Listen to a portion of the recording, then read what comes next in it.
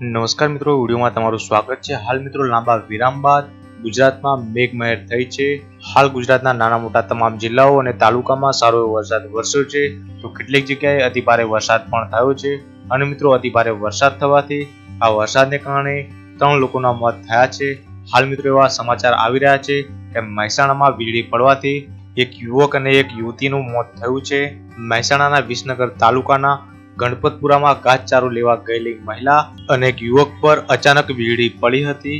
ત્યાં બંનેના મોત થયા છે. ત્યારે બીજી બાજુ મહેસાણા તાલુકાના એક ગામમાં મકાનનો સ્લેબ તૂટ્યો હતો, જેના કારણે એકત્રીસ વર્ષે એક મહિલાનું પણ મોત થયું છે. હાલ મિત્રો આખા ગુજરાતમાં ભારેથી અતિભારે વરસાદ થઈ રહ્યો છે, જેનાથી નીચાણવાળા વિસ્તારોમાં પાણી ભરાયા છે, જેના કારણે લોકોને ભારે તકલીફોનો સામનો કરવો પડી રહ્યો છે. તો મિત્રો હાલ તમારા ગામ કે શહેરમાં કેવો વરસાદ છે એ તમે કોમેન્ટ કરીને જણાવી શકો છો. તો બસ મિત્રો, મારા વીડિયો માટે આટલું. વીડિયો ગમે તો લાઈક કરો શેર કરો. હજુ સુધી અમારી ચેનલને સબસ્ક્રાઇબ ના કરી હોય તો અમારી ચેનલને સબસ્ક્રાઇબ કરો. જેથી આવા અવનવા વીડિયો તમને મળી રહે.